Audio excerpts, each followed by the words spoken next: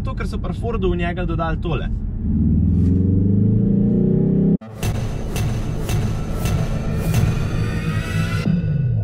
Tole za mano je še zadnja različica Focusa, ki ga bova s Primožem imela na testu letos in tukaj gre za en hud primerek Focusa ST Caravana. Pa bomo danes začeli na zadnjem delu Focusa ST, zato ker je tukaj ena in edina stvar, ki me mogoče malenkost mot. In to je tale difuzor, pa dvojna izpušna cev, ki sta v bistvu precej podobna tisti iz ST Line. Prav zato me je veliko ljudi vprašali, a pa je to sploh Focus ST, a ni ST Line? No, da gre za ta pravega ST-ja, boste videli po tele ST znački. In v tem primeru gre tudi za Focusa ST z dizelskim agregatom, kar pa pomeni, da na papirju zgleda zelo, zelo, zelo podoben Focusu ST Line. Ampak tukaj se pa podobnosti tudi končajo. Na sprednjem delu ga boste prepoznali po veliko bolj agresivnem odbijaču, po teh le srebrnih dodatkih, led lučeh, pa ogromni maski za zajem zraka.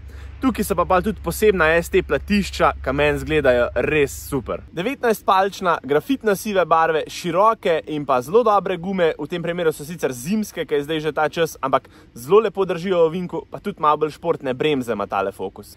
Z te strani moramo pa sigurno reči kakšno tudi čez barno kombinacijo. Meni se zdi zelo lepa. Tale rdeča prav seka in tale fokus obrne velik glav, ko se peleš z njim po cesti. No, pa če se na hitrco vrnemo na zadek, tale spoiler res gleda fino. In jaz mislim, da je v celoti uspel Fordu narediti res enega super športnega družinskega karavana, ki vas bo med tednom varno in udobno vozil v službo, za vikend se boste pa z družino lahko zapeljali na izlet, pa tudi zapodili med ovinke.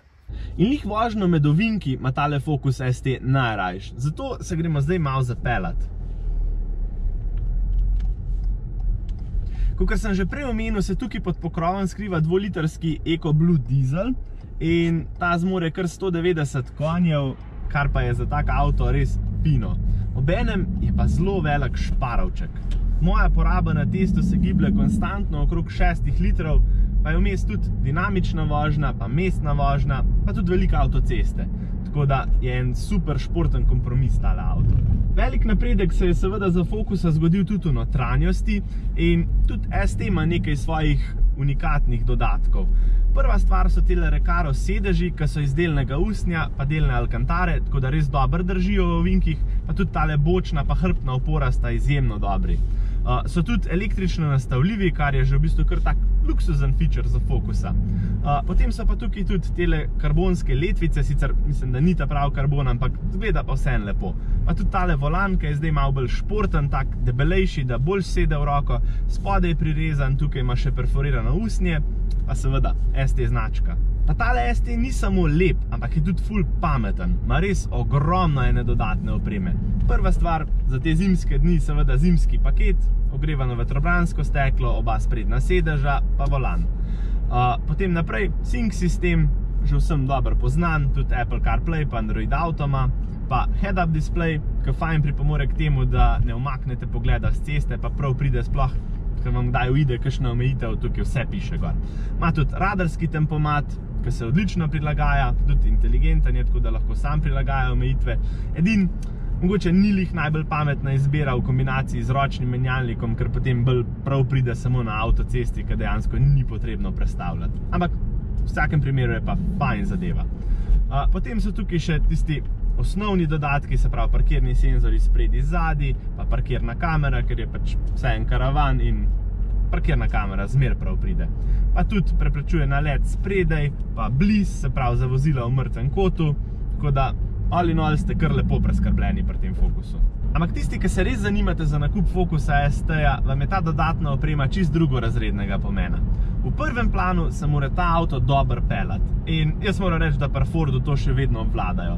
Podvozje je športno, trdo, avto je res čvrst in po ovinkih se pele res odlično. K temu pa pripomore tudi elektronska zapora diferencijala, tako da so tudi kakšni malo bolj zaprti ovinki lahko malo hitreje odpeljani. Zdaj, je že res, da imate pri Focusu ST na voljo in benzinski in dizelski agregat, ampak tisti, ki naredite malo več kilometrov, pa je za vas bolj primeren dizel, ne boste toliko močno prikrajšani pri zvoku, zato ker so pri Fordu v njega dodali tole. Tak lušten, nizek zvok, ki prihaja iz zvočnikov, ampak jaz mislim, da kar dober dodak dramatičnosti in v bistvu zbudi malo več temperamenta v tem fokusu. Pa ne me narobe razumeti, tudi jaz bi preferiral bencinarja, ampak tudi tole tukaj pa definitivno ni slabo. No pa da ne pozabim, tukaj na volanu ste se zdaj znašli še dve rdeči tipki. Prva je za Sport Mode, druga pa preprosta za preklapljanje med voznimi profili. In zdaj ima ta Focus štiri vozne profile.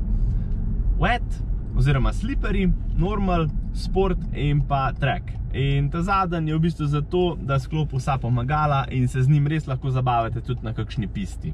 Zdaj pa, če za konec samo še primerjam tega le fokusa s prejšnjim modelom ST-ja, jaz moram reči, da je Fordu uspel narediti še malo bolj sodobnega, pa tudi premijskega športnega karavana.